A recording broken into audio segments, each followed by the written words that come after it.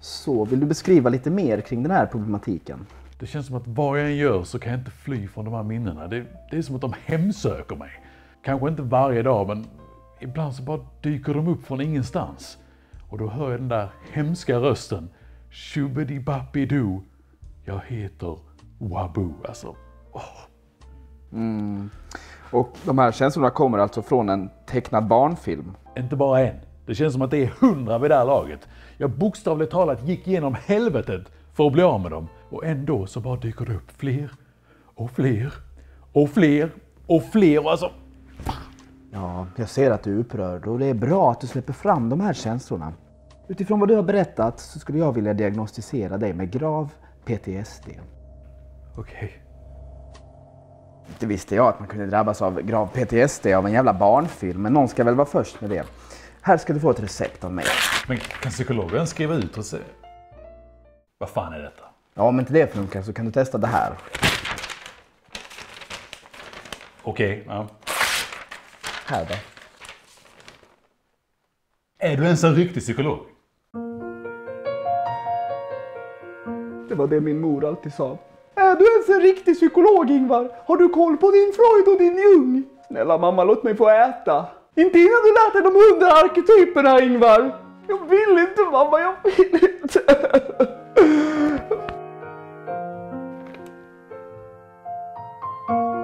Tack, du är den första som förstår mig. Det var väl ingenting, men kan du hjälpa mig med min Wabu PTSD nu då? Jag tror du vet själv vad du måste göra.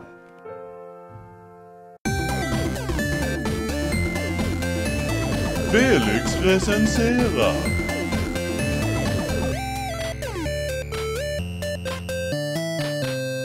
Hej och välkomna till Felix fucking recenserar ännu en sketen Dingo Pictures-film. De här filmerna är som en jävla hydra. För varje huvud som man hugger av så dyker det upp två nya. Jag snubblade över deras mög en dag när jag hittade Goldie på VHS för två spänn i en second hand-butik. Och nu är det snart 10 år senare och det tar aldrig fucking slut. Men nu, nu kanske jag hittat den sista av deras filmer som dubbas till svenska. Nämligen Prinsen av Egypten, som är en rip-off av Dreamworks-filmen med samma namn. Ingenting är tydligen heligt för Konkelberg Pictures, inte ens Guds dagbok Bibeln. Här har de då tagit den klassiska berättelsen om Moses som räddade sitt folk från slaveri och drog ut på hike i öknen i 40 år och bara skitit på den. Hade Gud fortfarande varit här hade han fan vridit sig i sin grav, det säger jag nu. Det finns ju en lång rad tolkningar av den här berättelsen och alla tar de sig an den på olika sätt. Från klassikern De 10 budorden från 1956 med Charlton Heston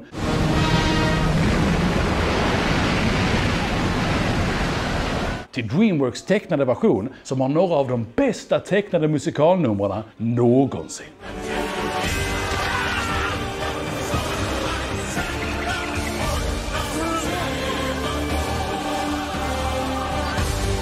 Och sen har vi Dingo Pictures version. Det är fan förolämpande att ens visa dem så här nära varandra.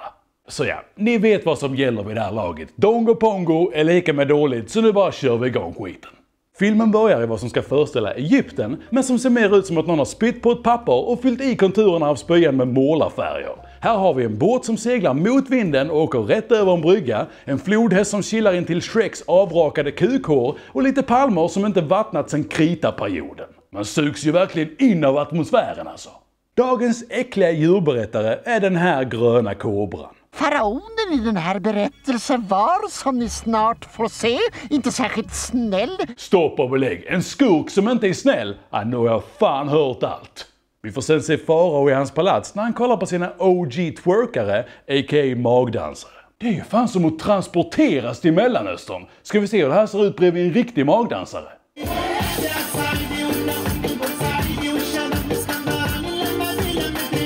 Nej, jag tycker fan Dingo Pictures nailar det.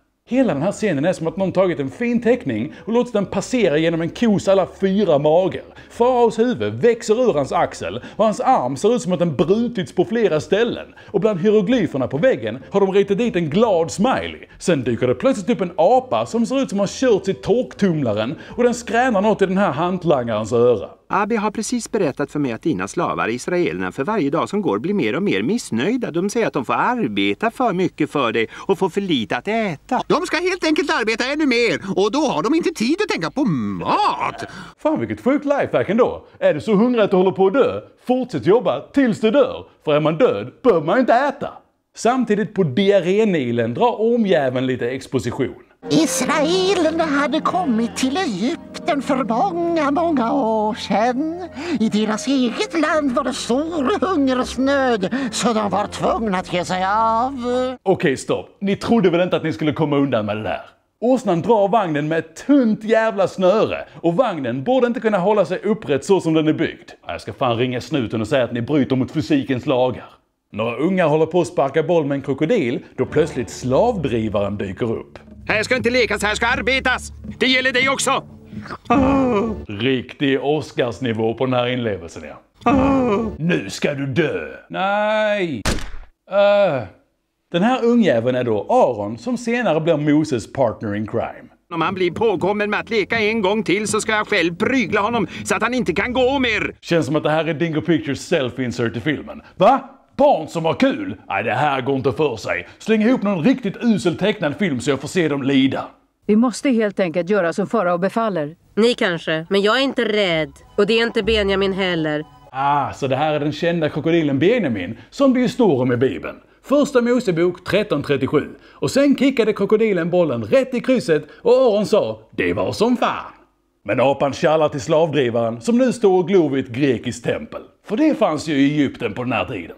Han ska allt få. Vem ska få vad? Har du fått israeliterna under kontroll? Alltså vad fan har hänt med hans skalle? Det ser ut som en hårig limpa eller något. Men faktum är så hade vissa faraoner såna här avlånga skallar. Antagligen eftersom att de var så jävla inavlade att deras gener sa “fuck det här” och försökte smita ut bakvägen. Så för en gångs skull är inte Dongo Pongo helt ute och cyklar. Om det nu var så här de tänkte. Och att det inte bara var att de ritade helt åt helvete. Det är ett jävligt stort om där får jag säga. Farao är trött på att israelerna är dåliga slavar som behöver mat och vila och sånt trams. Vi måste statuera ett exempel. Under ett år ska jag låta döda alla nyfödda. Skicka iväg soldaterna! Shit, jag hoppas de inte är lika grafiska nu som de varit tidigare. Så nu ska alla småbarnen dö, inklusive Moses som precis joinat servern. Så länge Moses är en baby kan du gömma honom, men senare när han börjar krypa så går det inte längre. Äh, vilket fantastiskt motiv de ritat här! Här ser det ut som att stenväggen borde fortsätta hela vägen ut, men istället bara tar det slut under halmen här. Stenarna i väggen sitter helt jävla snett och här ser man till och med att de inte pallade måla klart bakgrunden. Kul att ni försökte Dingo Pictures, men snälla, sluta! För alltid! Vi sätter ut korgen med Moses på Nilen och låter den flyta iväg. Aron, vilka idéer du alltid hittar på. Det är ju för farligt. Allt kan ju hända. Är det, jag tror faktiskt inte att allt kan hända. Kan Moses åka tusen år in i framtiden om ni sätter ner honom i vattnet? Nej, trodde inte det. Fucking Dongo Pictures destroyed by facts and logic. Men om vi ser till att Benjamin är med, han kan beskydda honom. Alltså grabbar, kollar ni med gud innan ni slängde in den här krokodilen i varenda scen. Jag är rätt säker på att han är ganska hård med att det ska vara kanon. Så de skickar iväg Moses på Nilen och till den här tragiska scenen har de lagt sin sorgligaste midilåt två gånger precis efter varandra. Och sen käkade krokodilen upp Moses. Slut! Nej, Moses fastnar i en sten och blir upphittad av faraos dotter och hennes dalmatin har bara en sak att säga. Ingen kommentar. Prinsessan bestämmer sig dock för att adoptera Moses. Moses växte upp i tron att han var Ammon, faraos barnbarn. Kolla lite närmare på statyn i bakgrunden. De här tårna är helt deformerade och här uppe har de ritat benet som att det buktar ut från bakgrunden medan det här nere ser ut som att hela benet bara är inristat i stenen bakom. Det är som att kolla på någon sjuk jävla synvilla. Prinsessan döper om Moses till Ammon och han blir direkt utnämnd till kronprins. Och 15 järe später är det han som ska ut och piska slavarna. Du, vänta! Där, kom hit! Ja, Ja, min prins heter det. ja min tönt. Vad sa du? Han sa din tönt! Jag hämtar soldaterna! Soldaterna kanske kan döda honom, men de kan aldrig läka de sjuka brännsåren efter den där kommentaren. Ja, min tönt. Prinsessan griper dock in innan någon hinner dödas. Skratta du bara. Det blir fler tillfällen. Vi sticker. Han hade inget skratt. Eh, vad fan var det där? Han hade inget skratt. Vem sa det och vad var det ens ett svar på? Han hade inget skratt. Det känns ju nästan som något han bara råkade säga under inspelningen. Fast vänta lite här, vad är det jag kommenterar? Han hade ju inget skratt. Apjäveln råkar dock höra när prinsessan säger att hon hittade Moses i Nilen och han rapporterar direkt till farao. Ta hit den där bedragaren genast! Men soldaten gick istället till Moses och rådde honom att fly. Riktigt snyggt har de suddat ut statyns tår och försökt rita dem bättre. Det fick ni verkligen till. Moses blir tvungen att fly ut i öknen för att inte bli fångad, men han måste få i sig några svampar eller något, för då dyker Gud plötsligt upp som en brinnande buske. Och Dingo Pictures kan aldrig ha sett en brasa i sina liv, för detta är hur de ritar eld. Jag har valt ut dig till att befria israeliterna ifrån slaveriet i Egypten. Förlåt, men jag tror du menar israeliterna som det står på omslaget. Sen tonar Gud själv in. Wow! Inte ens när de ska rita mannen, myten, legenden Gud så skapar de en ny modell, utan de återanvänder Zeus från Herkules. Och de har inte ens orkat rita några ben till honom. Han får några blod. Så är det bara så. Gud avslöjar att Aron är Moses bror. Känns som att vi slagit på någon turkisk såpa här. Och förresten, Aron är din bror. Men han är ju gift med min syster. Hon är inte din syster. Hon är din dotter.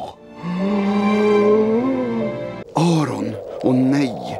Typiskt att det visar sig vara Aron som är min bror. Han kommer aldrig att tro mig. Berätta då för honom att han en gång gav den krokodil som beskyddare.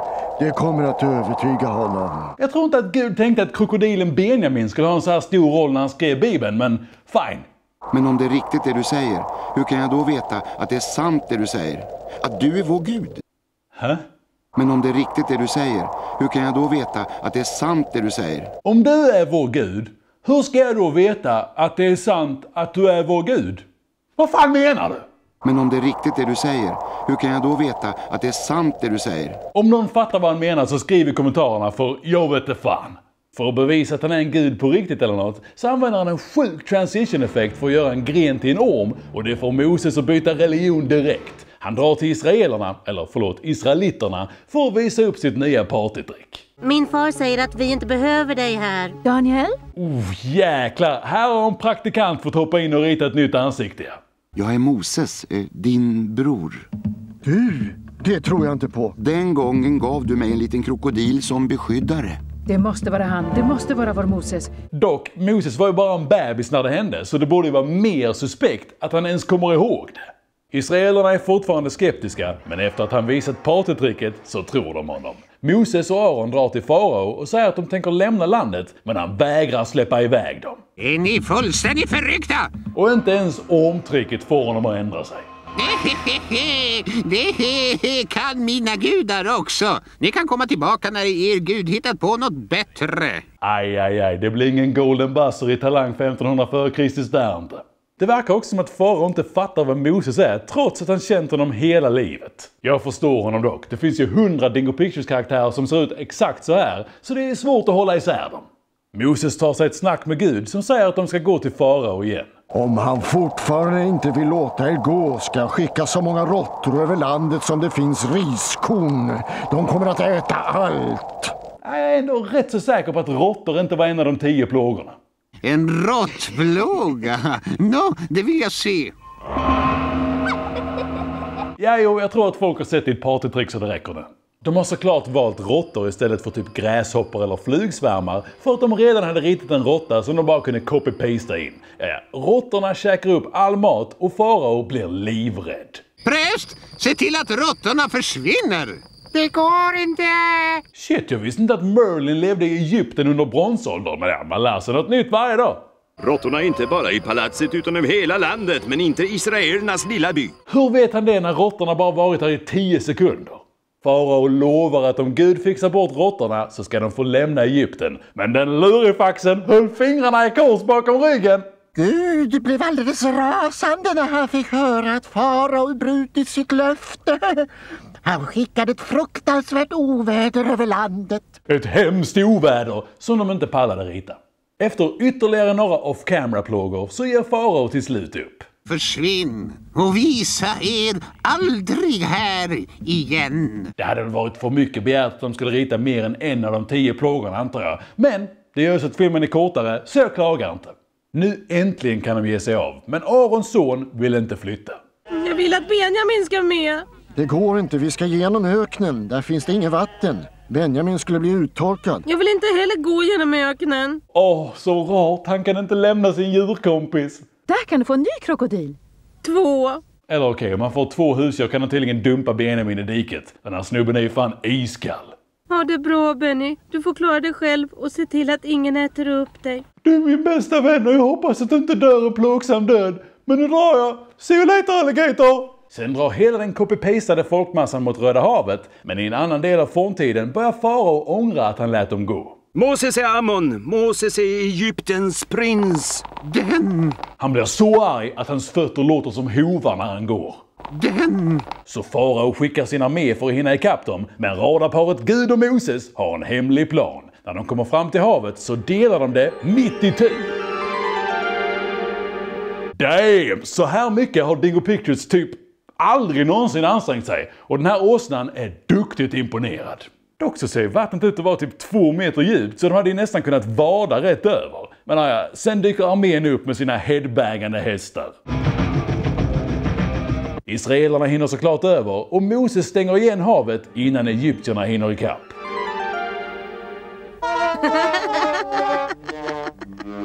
Wow, detta är ju fan på samma nivå som Charlton Heston-filmen.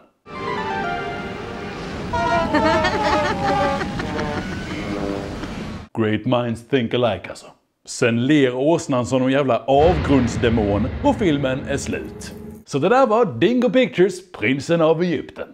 Jag tror inte jag överraskar någon när jag säger att det här var 24 karats rövmög. Det finns absolut inget som lyfter filmen över ett betyg på minus 8 av 10 och jag hoppas verkligen, verkligen att det inte finns några fler dubbningar nu. Jag vet dock att flera av deras andra filmer finns på danska och eftersom att även den svenska dubben spelades in i Köpenhamn samtidigt som den danska så är risken stor att filmer som Muspolisen och De glada musikanterna också finns på svenska.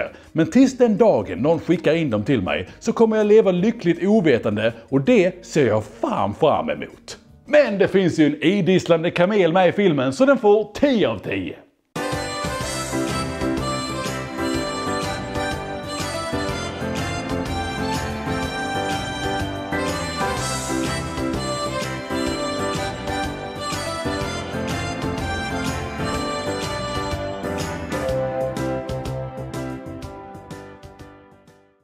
Och sen kickade krokodilen bollen rätt in i krysset och alla sa Whoppa Gangnam style, vad bra du gjorde det. My God.